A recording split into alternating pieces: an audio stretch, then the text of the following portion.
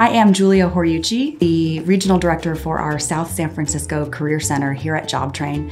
What we offer in South San Francisco is an opportunity for any individual to come in and receive resume tips, job readiness workshops, as well as general assessments in building their skills necessary to find long term employment. Come see us at our newly opened South San Francisco Career Center.